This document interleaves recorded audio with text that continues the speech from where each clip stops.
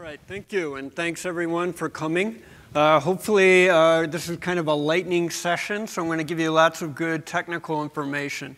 I think one of the things that we have here is, is of course, many of you people know about the Oracle database, um, but you may not know how interested Oracle is in things like Apache Spark. A lot of our major customers are using Apache Spark, and I want to talk to you about some innovations that we're putting into the SPARC processor to accelerate what we're doing with Apache Spark. So Spark is a very exciting ecosystem. For those of us at Oracle, it's a great ecosystem for analytics. It is fast and scalable because of its clean design. And one of the reasons I like it is it speaks SQL. Now, this is not because of my expertise in the Oracle database, it's because SQL gives us a very powerful, concise way of doing data scientists, getting data science, getting our data together. So having Spark SQL speak data frames and data sets is an area that we can apply hardware innovations to. So I want to talk a little bit about that. So when we look at analytics, part of the reason we're interested in it, old-time analytics used to be about your data could have been in the Oracle database, DB2, Informix, what have you. And then we had all this external data. And of course, what we're trying to do is do analytics now, not only on your proprietary data, but all of the data that's relevant to us out in the world as well. And, and um, Apache Spark really plays into that. So one of the things I want to talk about today, Matei started talking about the compute bottleneck and where we're at. And is it true? And part of it's true. So what I have here is I've plotted out the last four generations of x86 performance on a per core basis. It's been flat. Why aren't we up in the upper right hand corner? We have newer technologies and hardware. Why aren't we getting up there? Reality is we are, but we have to do it with innovation within the processor. If you notice here, I've put SPARC. SPARC with a C came from Sun Microsystem, which Oracle bought. Um, and what we've been doing is we've been innovating to improve per core performance with each generation. And you can see there the S7. Uh, I already have next generation in my lab right now that my performance engineers are working there. And follow that line up and to the right. This is significant. I'm talking about over 2x faster per core performance. That can save you in licensing costs or in the cloud. You may be thinking, oh, but that's a marketing slide. There's the actual data. Let me bounce back and forth between them. So one of the things that we did in the SPARC processor was we said Java, JVM performance is critical as well as database performance. We need to make sure that we are innovating both those areas. So that's been a target for the SPARC processor. Now you may be saying, oh, I don't do Java. I do Apache Spark and Scala. Well, Scala is written, or Apache Spark is written in Scala, which executes on top of the JVM. We're not making Java go faster, we're making the JVM go faster. So you can see the dash lines are x86 performance, and the solid line is a SPARC processor. So I'm saying general processing performance 1.6 to 2.1x faster per core. That's all of your licensing costs and so forth. We can do even better than that. But let me show you the actual Java performance. So in the red bar, you can see this is the SPECjbb benchmark. And you can see in the red bar, just focus on the bar graph, that's the SPARC processor on Java performance versus the last two generations of x86. Notice no, no real change there. So as I said earlier, part of the reason this is important is look all the things that are either written in Java or execute on the JVM. And that's what we've been focusing on, and you can see Apache Spark there. But it's more than that.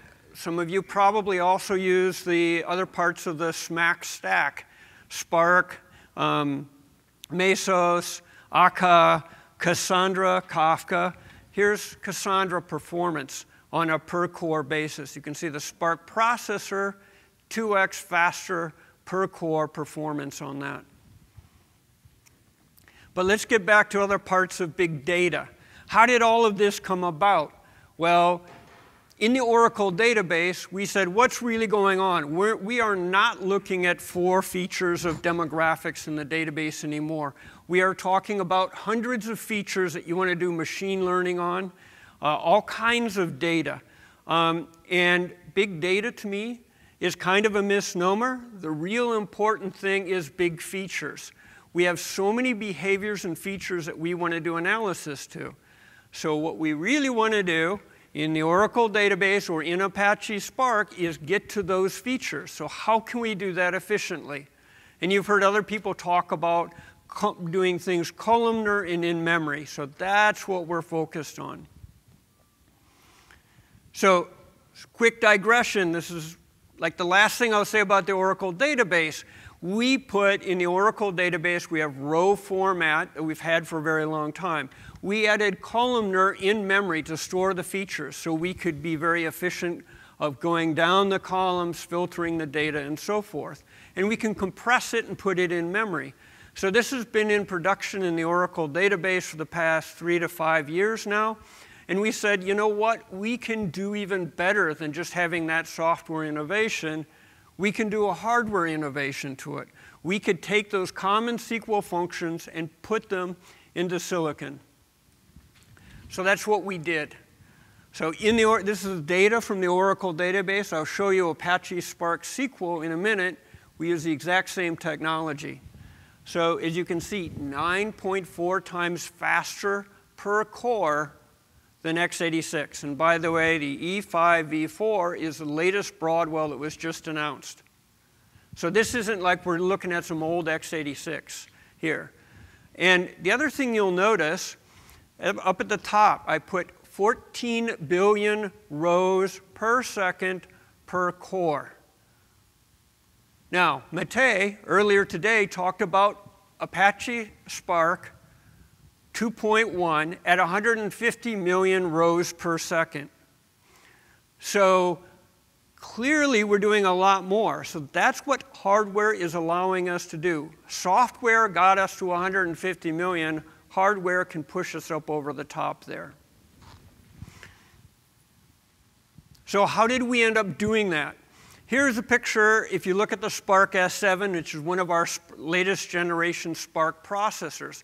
What we did was we took 1% of the silicon area and we put the, the scan processing into hardware. So you can read data out of memory in a columnar format, do a range scan, compare to two predicate range scan, and then return the various results of what you're doing. And we did that in software, and as you can see, the offload, which means we don't have the cores do that. We have the DAX, the data accelerator, do that. The cores are now free for all of that other processing that's going on. In x86 or in IBM Power, in order to do that filtering that you need to do, they end up using the graphics instructions. They end up using all of the cores to make that happen. The other thing we do is you notice bandwidth. Those lines are to scale. We have twice the memory bandwidth per core because if you're going to do analysis on lots of data, it's about how quickly you can read through data. And I, as I say here, you know, innovation is really the critical thing. It's more important, you know, Moore's law as Matei talked about earlier, is how many transistors you can put on a chip. That just tells you how many things you make. It doesn't say how you use them. So in the exact same way that Apache Spark has done innovations, we're doing innovations as well. Some of you may think, well, GPUs are also innovations. Isn't this just like what GPUs do? Well, GPUs sit on the end of an I.O device or the, the PCIe or NVLink, and you can compare the lines here. These are bandwidth lines all to scale. So having a detached GPU is not going to give you the same performance as what I'm talking about.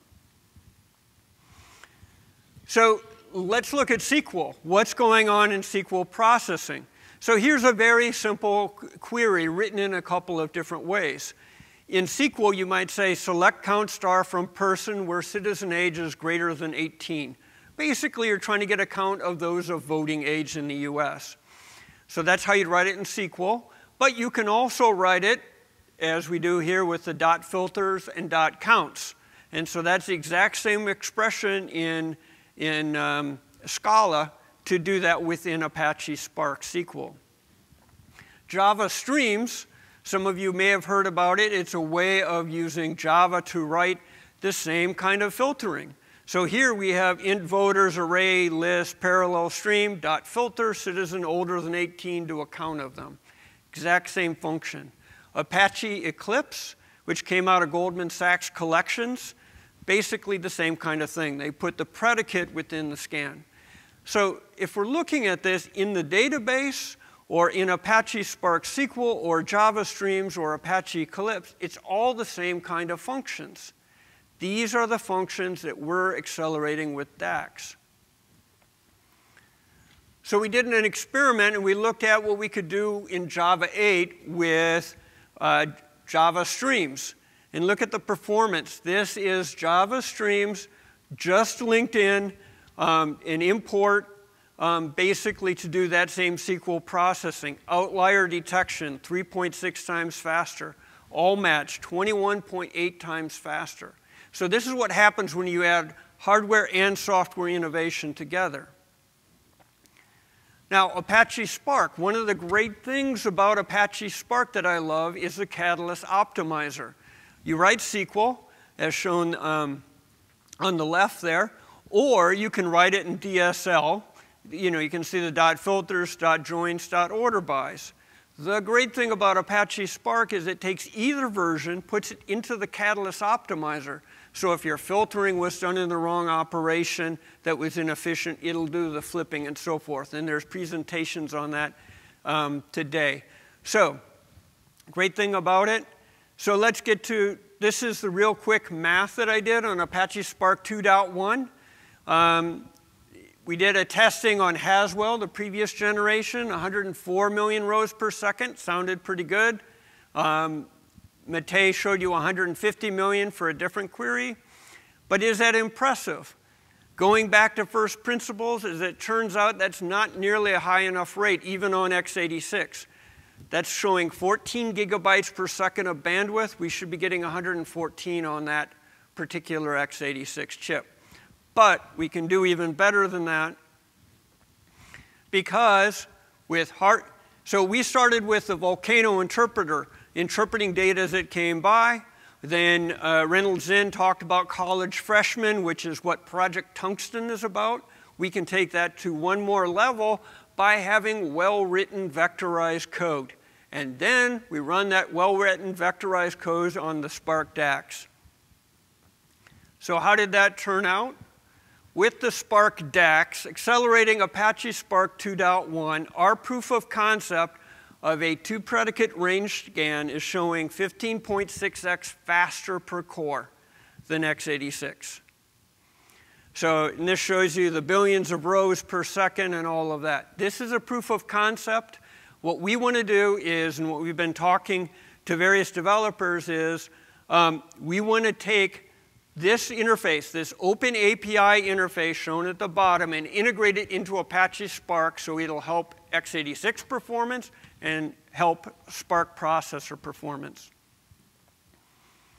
So those of you who are developers, the other thing we really need to push for is data frames not just with decoders taking the types back and forth, but dictionary encoded data, and we can scan directly on that dictionary encoded data. So these are techniques that we have put into the Oracle database that we are trying to get contributed back into Apache Spark as well. Again, we made an open API for this. It's been in the Oracle database, ActiveIM, which does a lot of in-memory query processing, Oracle streams, and what you saw in Apache Spark SQL. The other thing I think is really important is, is us not thinking of analytics as a pipeline. In other words, have our data source, data munch, analytics. Everyone talks this way. Analytics is really a cycle. We bring in data, we create features, we do some analysis and machine learning, we get out our results, but we keep going round and round again. So in memory is the one thing that's critical to accelerate what we're doing. Uh, and then you may be wondering the SPARC processor, okay, it was good at DAX. How is it at graph? Here's its graph performance. Again, it depends on memory bandwidth. So you can see 1.5x faster per core. We also looked at machine learning. Here is the training size, up to 2x faster per core. Um, and we got to remember that in machine learning, there's the training and learning, which everyone likes to talk about, but then there's the scoring the data. And that really depends on the processor memory bandwidth. And as you can see, look here at the SPARC processor advantage per core. So I just wanted to give you guys a really quick overview of what we're trying to do, but I think these kinds of innovations are critical and if you work in these various areas like machine learning into Apache Spark, we need to get more advanced algorithms that are using higher level kinds of things. So thank you for the time.